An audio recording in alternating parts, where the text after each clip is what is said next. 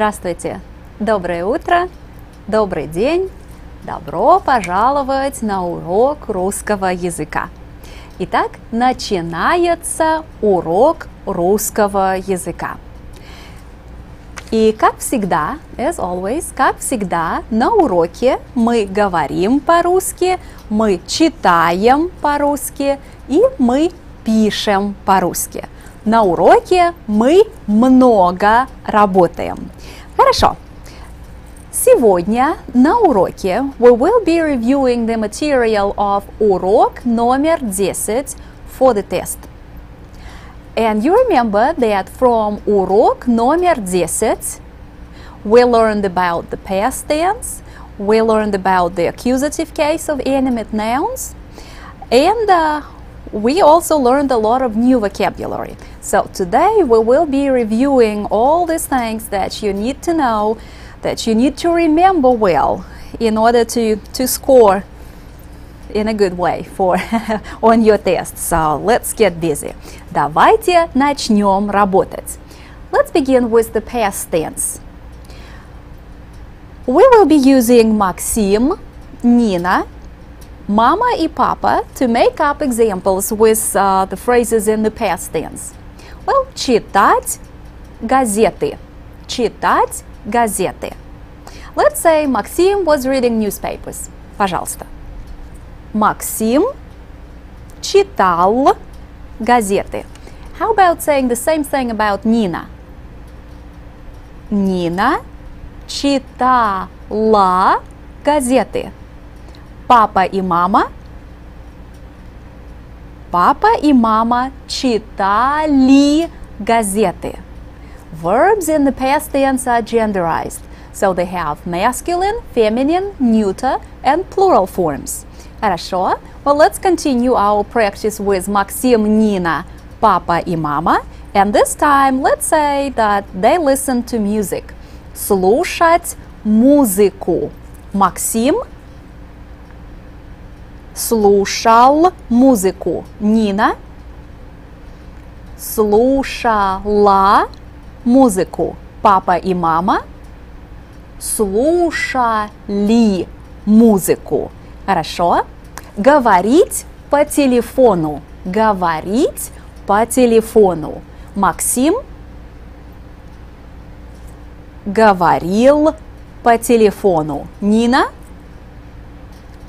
говорила по телефону. Папа и мама говорили по телефону. Папа и мама говорили по телефону. Хорошо. But what happens when you have я or ты as the subject of the sentence? What do we do about the gender of that verb? The gender of the verb agrees with the gender of the person. So if I were to make a statement about what I did yesterday, I'd be using feminine forms. Вчера я читала газеты и журналы. Вчера я смотрела телевизор. Вчера я говорила по телефону. Хорошо. Just remember about using past tense verbs appropriately. You have to know, you have to remember that Russian past tense verbs are genderized and they have masculine, feminine, neuter and plural forms. Ну, хорошо. What do we know about the verb быть, to be? In the present tense, the verb быть doesn't have any forms. Сейчас я на работе. Сейчас вы в школе. But in the past tense, the verb быть functions just like any other Russian verb. Вчера я была на работе. Вчера вы были в школе. So let's take a look at the verb at the uh, past tense forms of the verb быть. Uh, он был, она была, оно было, они были. был, была, and you remember we pronounce this verb form with the accent on the last syllable, la, она была, оно было, они были. Хорошо, хорошо. Итак, вчера я была на работе. Иван Иванович был на работе. Да, Анна Петровна была на работе, а Максим и Нина были в школе. Хорошо. Well, besides the verb быть, we should also remember about the verbs that end in s-я. Учиться, улыбаться, начинаться, кончаться. Do you remember what happens to these verbs when we put them in the past tense? Let's take a look at this. If a verb ends in ся, we follow the first two steps of the regular procedure for the past tense and then add s-я or s and a soft sign at the end. So let's take a look at the verb улыбаться. Remember, the first thing that we need to do is drop there and the soft sign in order to find the verb stem. The verb stem is улыба. On улыба, add l for the past tense and add ся at the end. Он улыбался. He smiled or he was smiling. Она улыба. We add l for the past tense, а to make it feminine, and we complete the verb form with s and the soft sign. Она улыбалась. Они улыба. L for the past tense, E to make it plural, S and the soft sign to complete the verb form. Они улыбались. Он улыбался, она улыбалась, они улыбались. Хорошо, хорошо. Let's take the verb учиться, учиться. And we will say he studied, she studied, they studied. Он учился. Он учился. Она училась. Она училась. Они учились.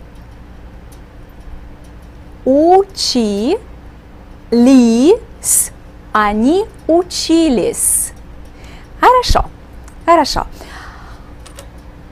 Now you are attending high school, but previously you were at the uh, you studied at the elementary level and, and then you attended the middle school. So, how would you answer this question? Где вы учились раньше? Где вы учились раньше?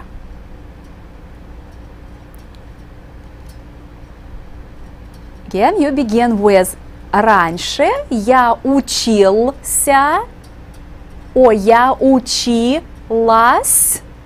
в школе, and then you name your elementary school or your middle school.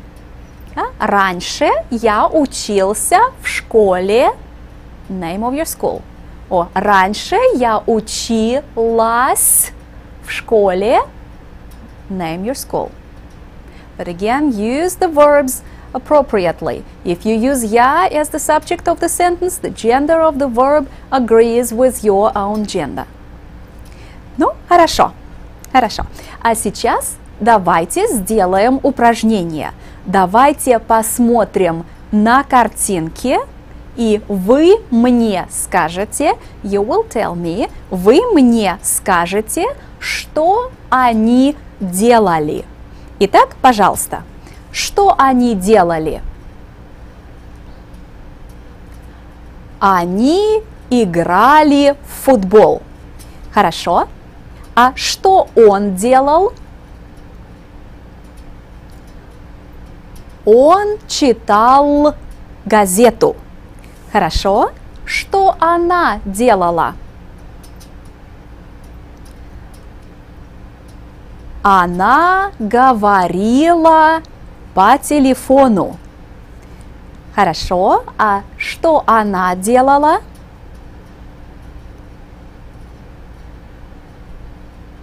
Она читала книгу. Хорошо. Что он делал? Он работал. Что они делали? Они смотрели телевизор. Они смотрели телевизор. Хорошо, хорошо. А сейчас опять давайте сделаем упражнение. Возьмите свои ручки или карандаши, ручки, карандаши, тетради. И сейчас давайте сделаем упражнение. I want you to look at these sentences. All of these sentences are in the present tense. Now rewrite these sentences in the past tense. Итак, пожалуйста, write the sentences in the past tense.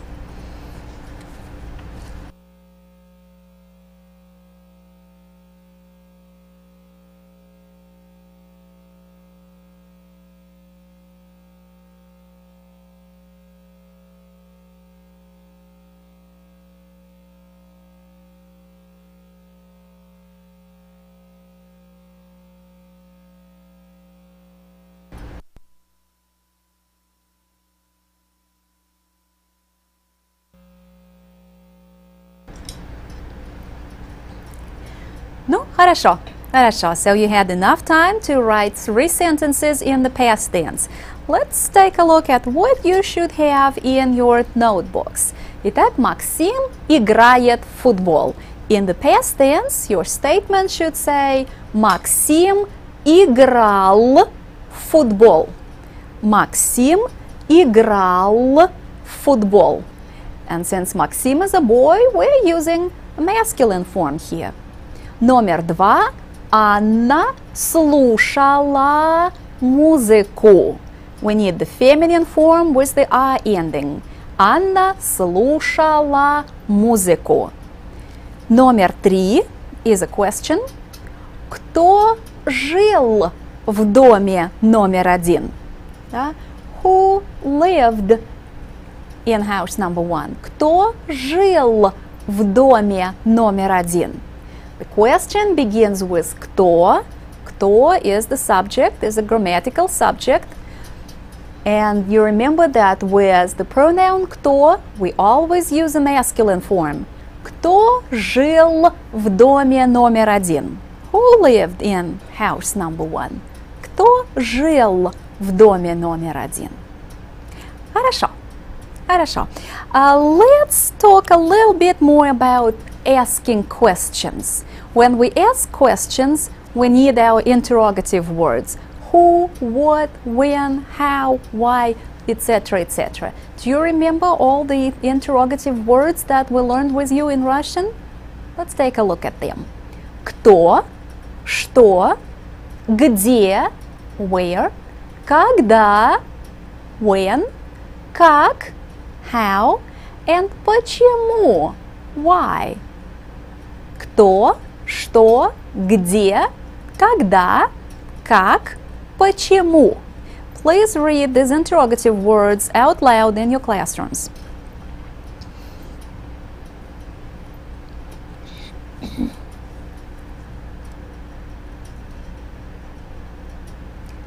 Кто, что, где, когда, как, почему.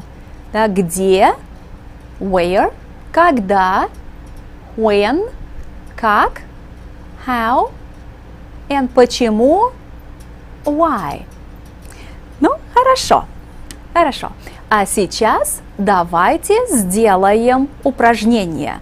Возьмите ручки или карандаши, тетради And let's ask a few questions. Let's take a look at these three sentences. I want you to ask questions about the highlighted words.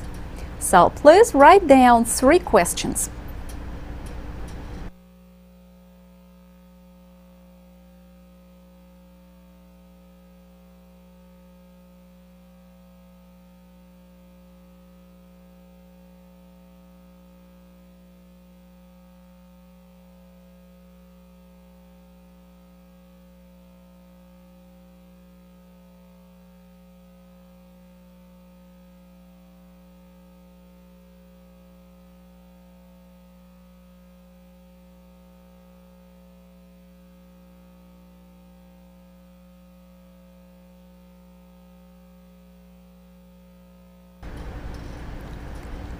Ну, хорошо, хорошо. I hope that you are ready with your questions.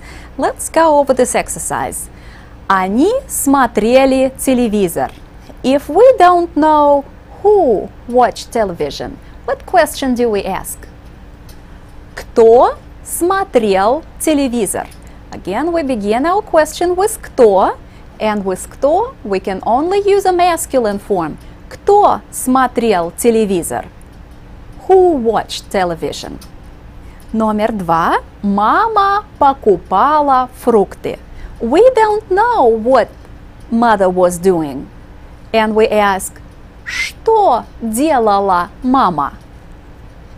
Что делала мама? What did mother do? Or what was mother doing? Что делала мама? Uh, mama is your grammatical subject in this sentence, so the verb takes the feminine form. It takes the feminine ending. Что делала мама? В субботу Антон отдыхал. We don't know when Anton was resting, so we ask когда Антон отдыхал. Когда? When? Когда Антон отдыхал?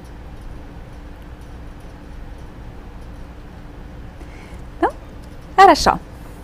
Хорошо. One more time, I would like to remind you about the questions that begin with кто and что.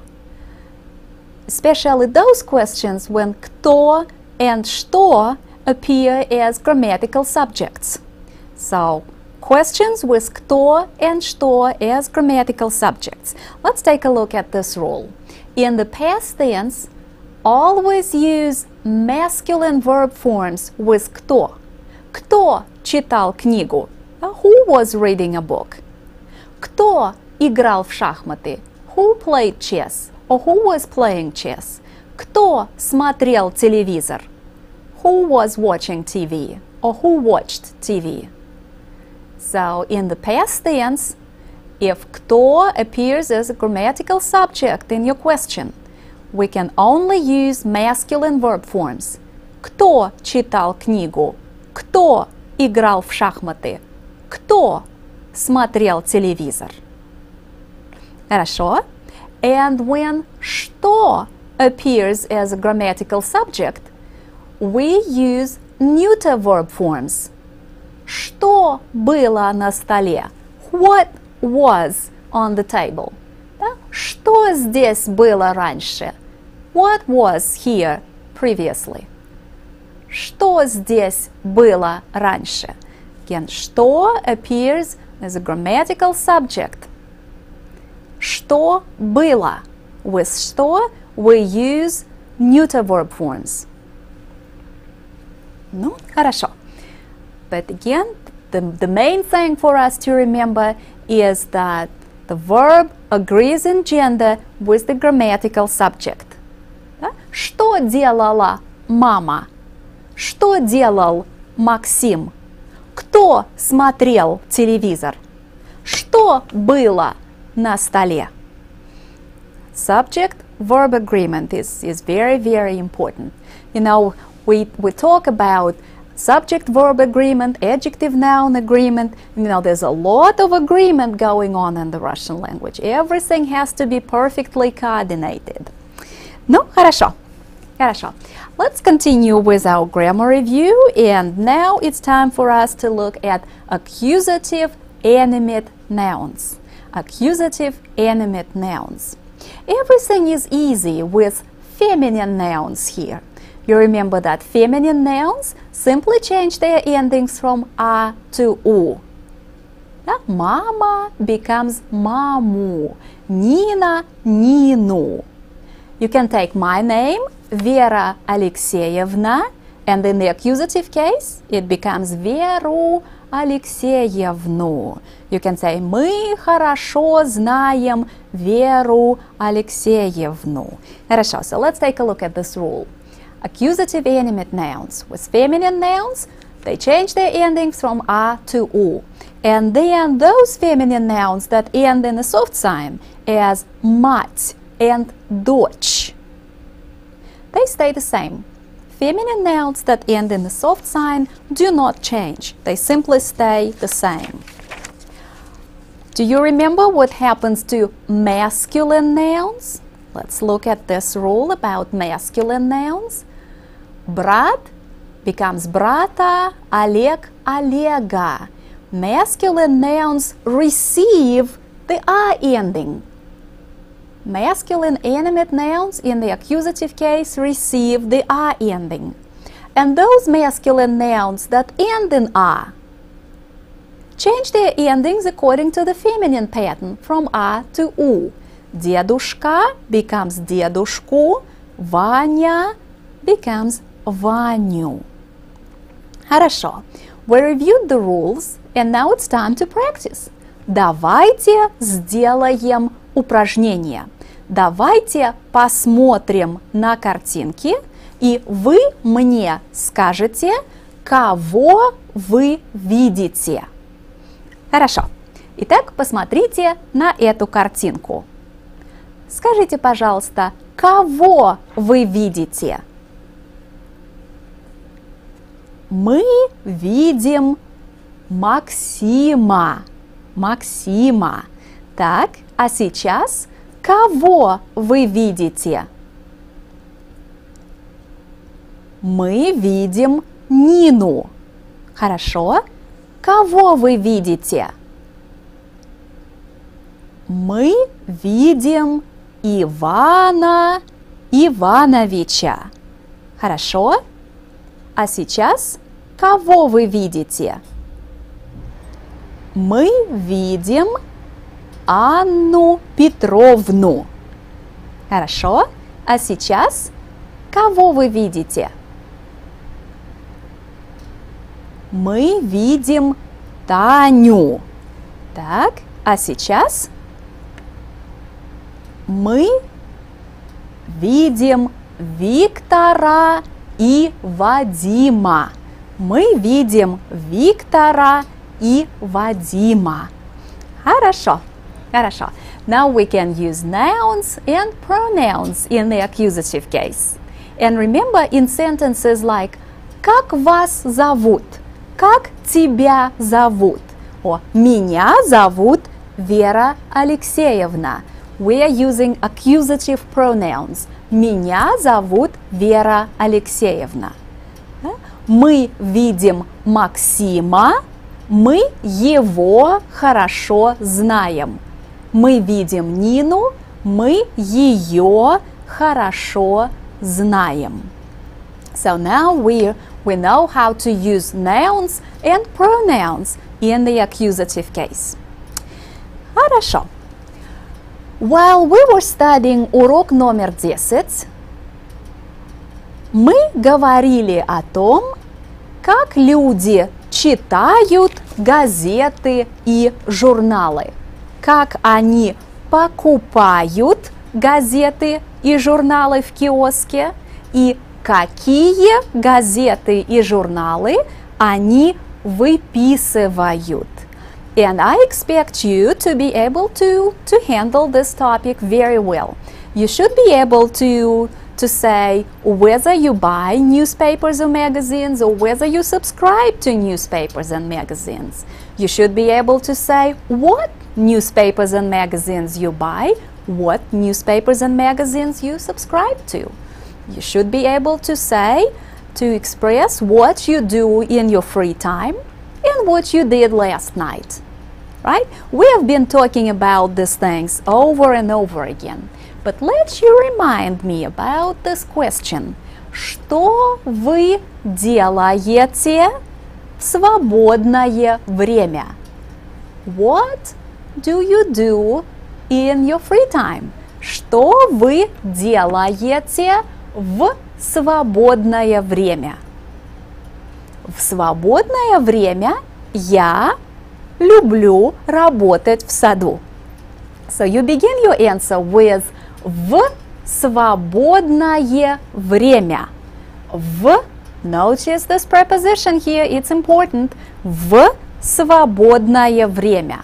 В свободное время я люблю читать книги, работать в саду, смотреть телевизор и ходить в кино. В свободное время я люблю ходить в кино, работать в саду и читать книги, газеты и журналы. And another important question that I want you to be very aware of is Что вы делали вчера вечером? Notice that this question is in the past tense. What did you do last night? Or what were you doing last night? Вчера вечером. So begin your answer with вчера вечером. Вчера вечером я читала газеты и журналы. Я смотрела телевизор, я говорила по телефону. So again, these are some of the questions that you need to be able to handle both orally and in writing. And now let me tell you what exactly you need to review to be prepared for the test. Итак, посмотрите, пожалуйста.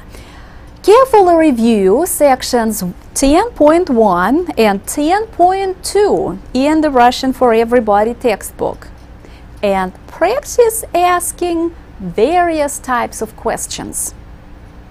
Like, what did you do last night? What was mother doing? Where did you study? Etc. etc. So review sections 10.1 formation of the past tense, 10.2 accusative case of animate nouns. And of course you need to be able to come up with different types of questions and be able to answer different types of questions. So this is just an overview of what you should be dealing with or what you will be dealing with on your next test. And of course, the test is used is based on урок номер 10. Так, сегодня мы много работали. Мы говорили по-русски, мы читали по-русски и мы много писали по-русски. Ну, хорошо. Итак, большое спасибо. Study hard tonight и до свидания. Good luck on your test. you.